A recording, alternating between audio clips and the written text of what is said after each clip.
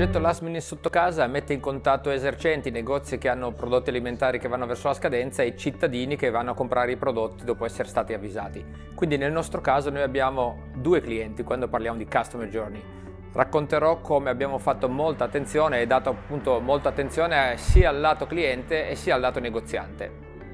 Ma per quello che ci riguarda sicuramente eh, le keyword sono diverse, ma la più importante ed è quella su cui mi focalizzerò è l'ascolto, nel senso abbiamo dedicato tanto tempo all'ascolto e solo ascoltando le esigenze, i suggerimenti sia del lato, ripeto, consumatori che del lato negozianti siamo riusciti a rimodellare il processo, il progetto e rilanciarlo in questa seconda nuova fase. Beh, conosco AISM da parecchi anni, conosco bene Massimo Giordani, il presidente, conosco la professionalità e la passione di tutte le persone che ci stanno dentro e quindi per me è stato un piacere farne parte, ne faccio ufficialmente parte e sono ben felice di essere qua oggi con loro a condividere la mia esperienza.